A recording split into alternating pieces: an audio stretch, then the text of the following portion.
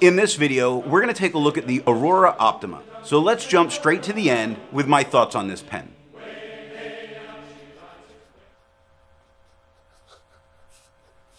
I have to start by saying this is one of the most attention grabbing pens that I have. Without a doubt, when this pen comes out, it demands people look at it. It is just so beautiful to see. And that's one of the things that made me really want it. This is a look that I could definitely have on multiple pens. I enjoy that orange look with the black and gold. Now, its writing experience is everything that you would want it to be for what this pen cost, as it is a pricey pen and it lives up to what I want it to be at that cost. So it's great with its smooth writing. It even makes me want to see about being able to purchase another nib, perhaps in a fine, if I could get a hold of that. I enjoy the broad, I do, but I have found that in a lot of my daily writing, I tend to enjoy some fine nibs a little bit more at times. But at the time I purchased this, I was more involved with broad nibs.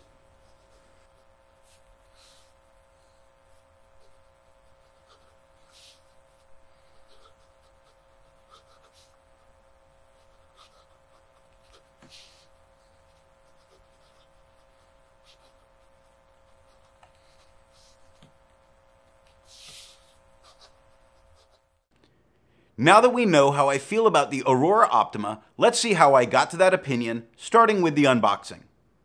The Aurora Optima comes in a box like this, which contains a box like this. At this price, I do like the box to be a bit more of a presentation of the pen. I know some people don't care about the packaging, but the truth is, it does matter. If this showed up in a simple cardboard box, it might feel a little bit let down. Where when it comes with a nice box, you get the experience of it the entire time. With the pen out of the box, we need to get to the nib. And as long as it doesn't take 20 turns to uncap a pen, I'm generally okay. But how many turns does it take to uncap this pen? The Aurora Optima takes one and a quarter turns to uncap. It uncaps fast enough that you don't even realize, you know, much of it. It's very nice and not a problem. It doesn't make any kind of noises while you're capping or uncapping. So being in a meeting where maybe you do need to uncap a few different times, it doesn't make any noises that could be a detriment to you. Not any problems at all. This gets us to the nib. This pen has a gold broad nib on it.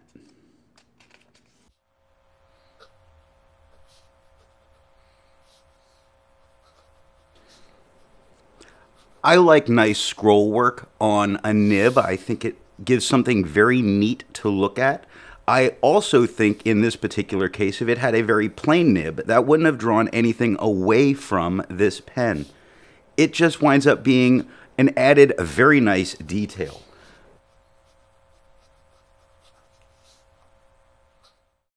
Now, let's ink this pen up.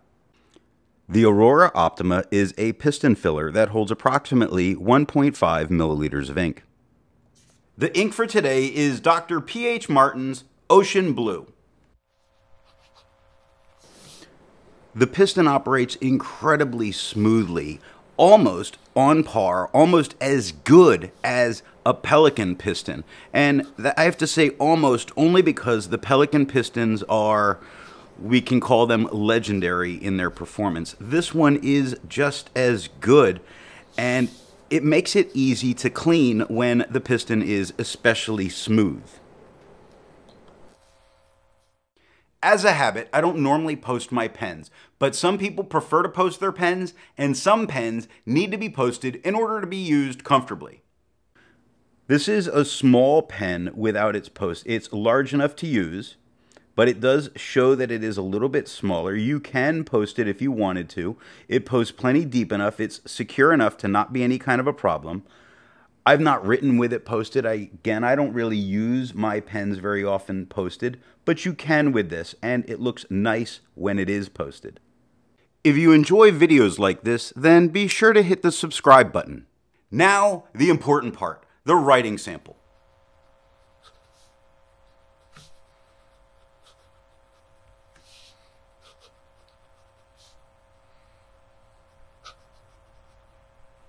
Writing with this pen, it is bordering towards where I would want to post it. Just in that it's a little bit shorter than I would prefer. I kind of wish it was just a little bit, like a quarter inch longer, and it would be a little bit better in that case. Now, its girth in the middle towards where it gets held makes it incredibly comfortable and causes no kind of hand fatigue. It gives a very smooth writing experience, but not so smooth that you have to worry about it having baby's bottom. This pen's not had any problems, and I don't know that I've ever heard of problems with Aurora's nibs. Very smooth, really does help bring out those features of the ink.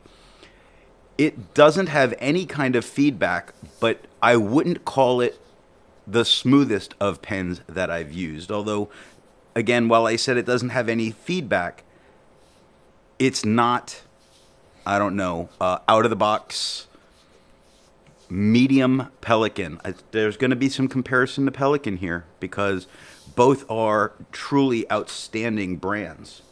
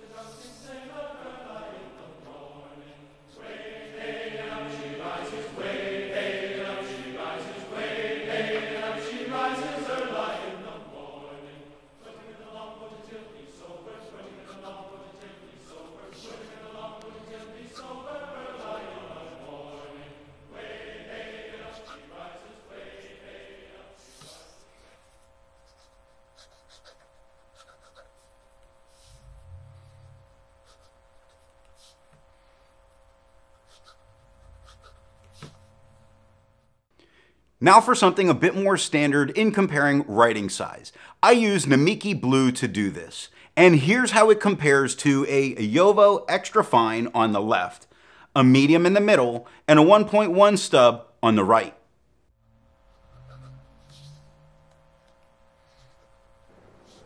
in terms of how wide the writing is, it's exactly what you should expect a broad nib to be able to be. Not any broader, not any more narrow. It really does answer to your expectation without any kind of caveat like it's a bit more broad or a bit more narrow than would be expected.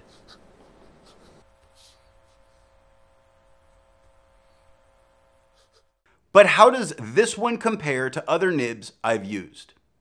Looking at the writing of an Aurora Optima with a broad nib, here it is next to a Levenger TrueWriter with a broad nib a Retro 51 Tornado with a broad nib, a TWSBI Eco with a broad nib, a Pilot Custom 823 with a broad nib, a Franklin Christoph Model 66 with a broad SIG nib,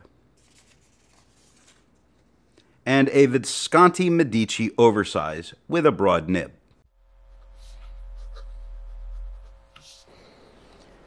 I mentioned before that when it comes to the size, this pen is just a little bit shorter than I would prefer. It's not that it's any kind of a problem, and it doesn't stop me from using this pen. It's incredibly usable in its size, so there's no issue there. It's just a preference looking at it that a little bit longer would have been nice. So it isn't a review without some size comparison. Here it is capped, here it is uncapped, and here it is posted.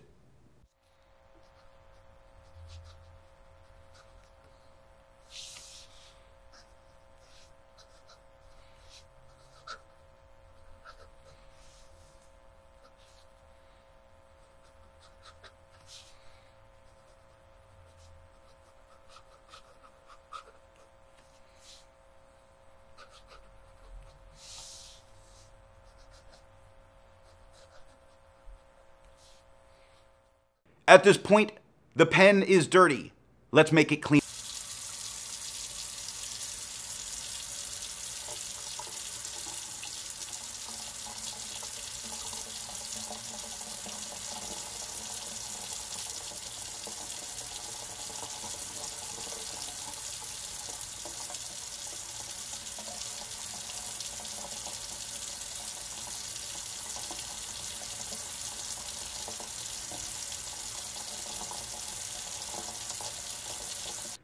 Be sure to check out the next pen review when we take a look at the TWSBI Mini.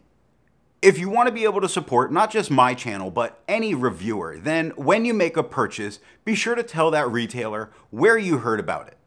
Thanks for watching.